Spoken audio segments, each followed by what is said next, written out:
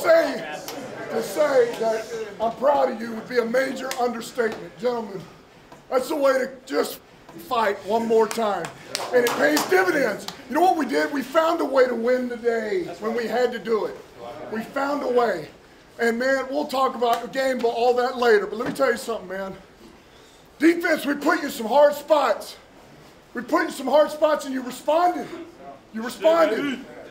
Offense, man, we were doing some things. We kind of hit a lull, and when we needed it, we came back. We came out early.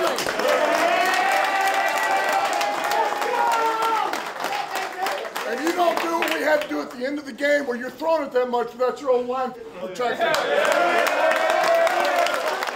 This has been a long time coming. This is what makes it great, man. You know what?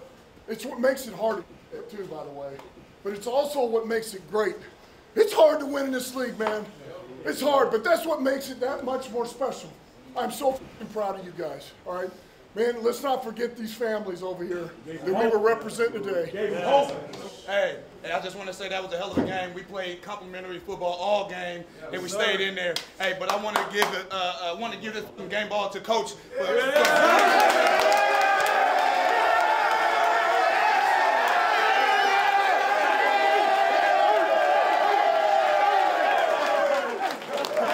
I love every single one of y'all, bro. Hey, family on three. One, two, three. Family!